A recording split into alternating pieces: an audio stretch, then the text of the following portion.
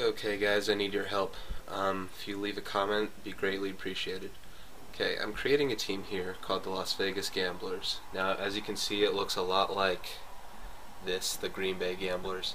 Um, I guess is a hockey team by this logo here, so I haven't made a logo there. Um, it's actually pretty good. It's actually pretty close.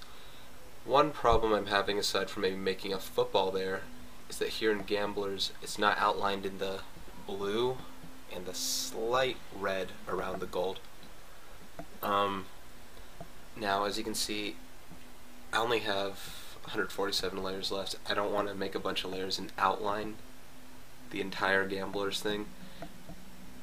If anyone knows a way to outline these, um, I can't just enlarge the letters and have blue behind it. It doesn't quite work like that um, if you enlarge letters you might get the outside correct, but you won't get the inside correct. Say, for instance, this G part would be all misaligned.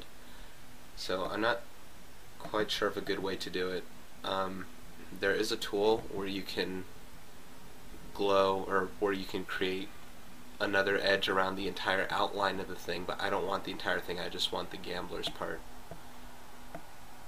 So if anyone knows a way to get that, just the gamblers with the blue and a little bit of red, and then I can add that little thing right there. Um, please let me know. Looking good otherwise.